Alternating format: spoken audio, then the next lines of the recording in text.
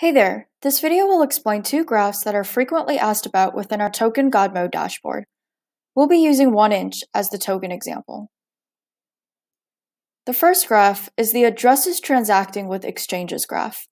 Here, the number of depositors, represented in red, refers to the number of wallets depositing the token into the exchange.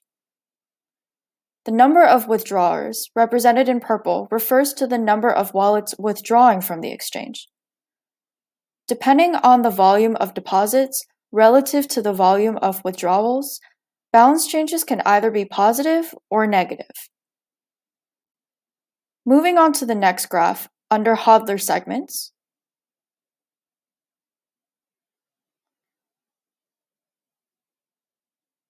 The seniority distribution bar graph shows when different addresses and tokens received their first token. For example, about 5.1% of addresses that hold 1 inch receive their first 1 inch token within the last 7 days.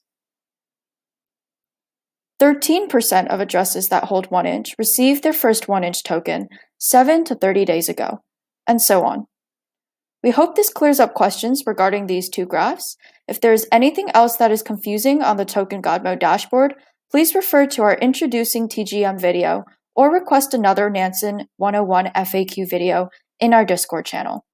Don't forget to subscribe to Nansen's YouTube channel.